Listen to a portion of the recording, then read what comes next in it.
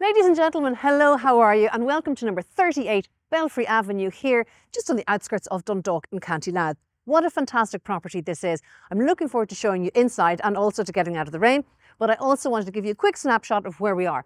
So Belfry Drive, Belfry Avenue is a lovely, very smart uh, residential suburb of detached and semi-detached properties.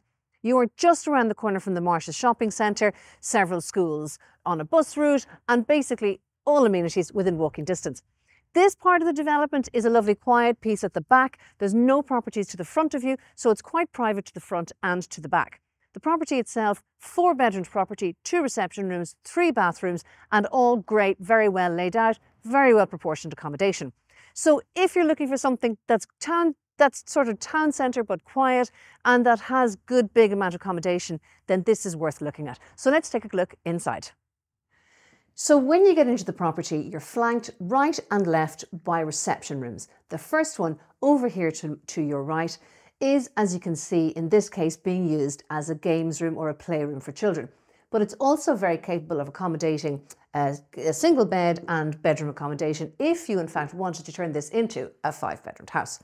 We're now in the living room. It's a super lovely, lovely big space. One of the big advantages also is that this property is not overlooked from the front.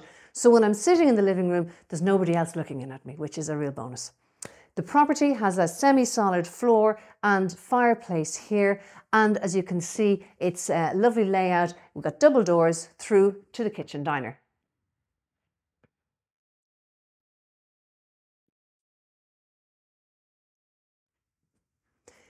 In a dining space, I love to point out when the space is big enough to accommodate a nice big dining table, as you can see here.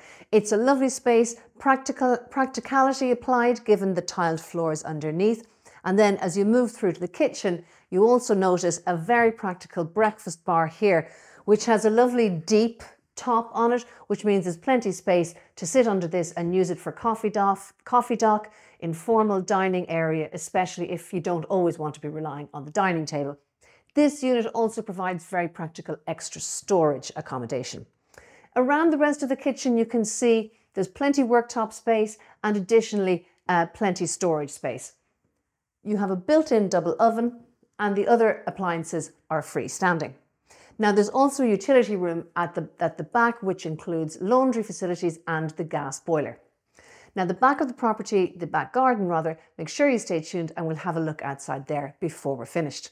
A guest WC completes the ground floor accommodation and now we're going to look upstairs. Upstairs, we're at first floor and there's a lovely layout to this property that all of the accommodation is laid out around this central landing area, which makes the upstairs very space efficient. And what you're going to see is lovely big bedrooms.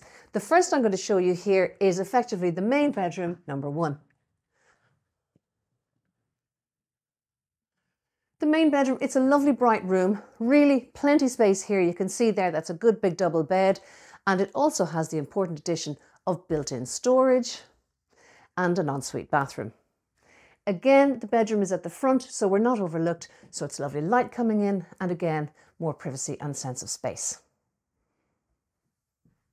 So one of the fantastic things about Belfry is that it has lovely big hot press, double hot press there, big bonus, particularly if you really want to be able to see what's going on in your hot press. Second, number two, again, a lovely big double bedroom.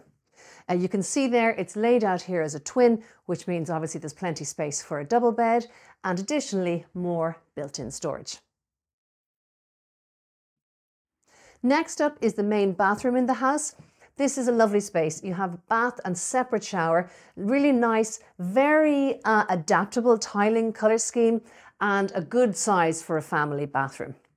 Bedroom number three is here and bedroom number four, the next one I'm going to show you.